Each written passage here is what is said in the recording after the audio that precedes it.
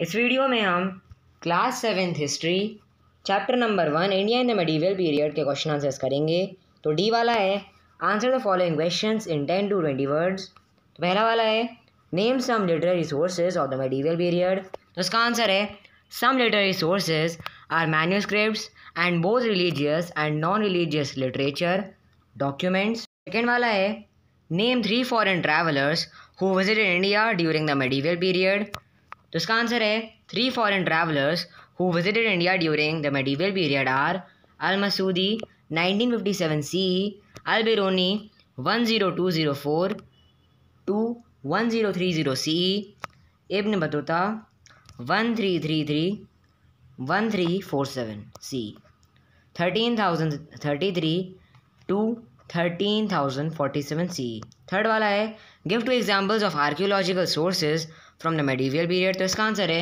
two examples of archaeological sources from the medieval period are coins and monuments fifth वाला है who wrote Akbarnama तो इसका answer है Abul phrasal road Akbarnama फिर अगला वाला है ई e वाला answer the following question in fifty to seventy words तो उसका है क्वेश्चन पहला वाला What are chronicles? तो इसका आंसर है chronicles are literary and textual records in chronological order.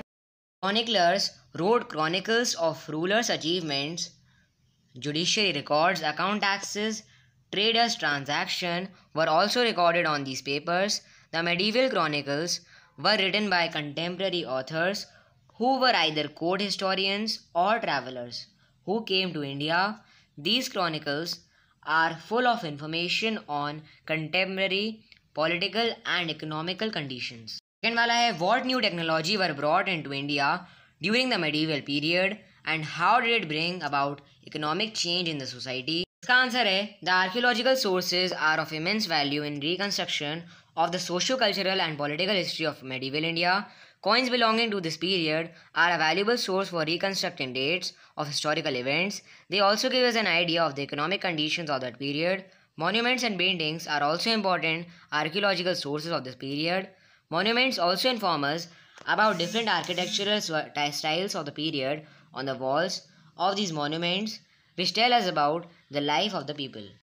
Fourth वाला है what is is tributary among which kingdoms did it take place? The constant rivalry between the Palas, the Gujarat Pratiharas and Rashtrakutas has been termed the tripartite struggle or struggle between the three major powers. One of the major causes of this continuous struggle was the desire to possess the city of Kannauj, which was then a symbol of sovereignty. Another cause was the control of the fertile regions of the Ganges Valley at the end of the long drawn out war the Pratiharas emerge victorious.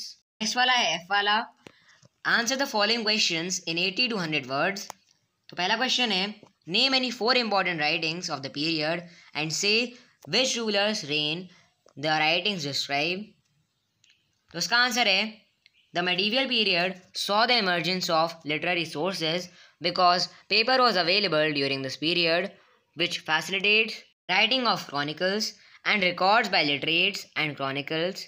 They wrote chronicles of rulers, judiciary records, accounts and taxes, and also teaching of saints and traders' transaction, which gave important information of about the period.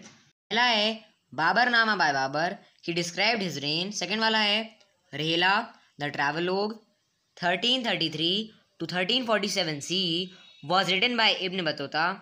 It threw a lot of light on reign of Muhammad bin Tughlaq and geographical economical and social condition in India third वाला है Akbarnama by Abul Abul Fazl describe the reign of Akbar fourth वाला है Prithviraj Raso by Chand Bardai distributed the reign of Prithviraj second वाला है name the kingdoms that emerge in the north and those that were established in the south का answer है Turks establish the Delhi saltanat which was replaced by the Mughals who established the Mughal Empire. There were several other groups of new rulers who emerged within the borders of India. Such groups included the Rajputs, Sikhs, Marathas, Ahoms, Jats, and Kayasthas. In South India, the Cholas emerged powerful. They established trading contacts with the countries of Southeast Asia and China. Third wala hai, why was India known as Bharat? How did it come to be known as Hindustan? How did Babur describe India?